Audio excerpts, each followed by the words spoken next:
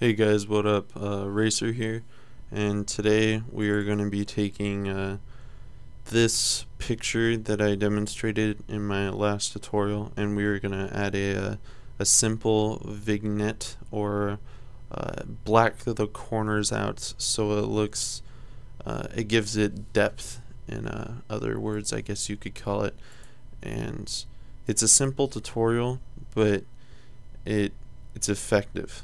Uh, first thing you want to do is obviously open up your picture in uh, Photoshop and uh, you want to set it to a layer. So you just double click it and click uh, OK. You can name it if you wish but I prefer to leave it. And then uh, you want to create a new layer and you want to go to your uh, brush tool and you want to find the one of the ones that fades off such as uh, this one. And uh, you can use the left and right brackets to increase or decrease the size. And uh, you want to make sure your color is set to black. And you can uh, press control and then the minus key on your numpad to uh, zoom out.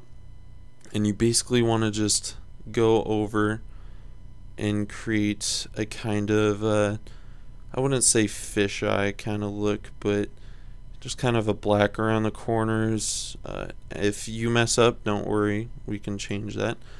Uh, you just and then after you have this uh, created, uh, you can click filter, and then blur, and uh, then Gaussian blur, and uh, you're gonna want to increase it pretty high. you can play around with it. I mean Sometimes you might want to go all the way max, but most of the time it usually just completely destroys the whole effect. And uh, I usually leave it in the 105 to 120 range. And as you can see at 119.9 it looks pretty good. And uh, most of the time you don't usually want it, the corners to be this dark and so you can bring the opacity down over here and uh, as you can see if you lower it down it gives it quite a effect.